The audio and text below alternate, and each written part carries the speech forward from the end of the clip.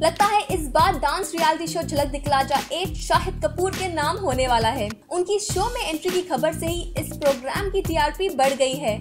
और अब एक और ब्रेकिंग न्यूज़ आई है, जिसे सुनकर आप भी अपनी एक्साइटमेंट को कंट्रोल नहीं कर पाएँगे।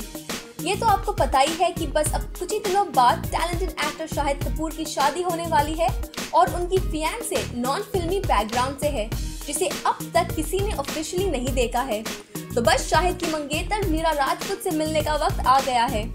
और साशा ने अपनी लाइफ पार्टनर मीरा राजपूत को फैंस और मीडिया से मिलवाने के लिए बड़े पर्दे की जगह छोटे पर्दे को चुना है। सूत्रों की माने तो जज की भूमिका निभा रहे शाहिद झलक दिखलाजा एट पर मीरा को इंट्रोड्यूस करने वाले हैं, जहाँ मीरा और शाहिद की एक साथ स्क्रीन पर फ़र्स्ट डेब्यू स्पेशल अपियरेंस होगा। वेल well, इस लेटेस्ट अपडेट के बाद आपके साथ हम भी इस खूबसूरत जोड़ी को देखने के लिए बेसब्री से इंतज़ार कर रहे हैं।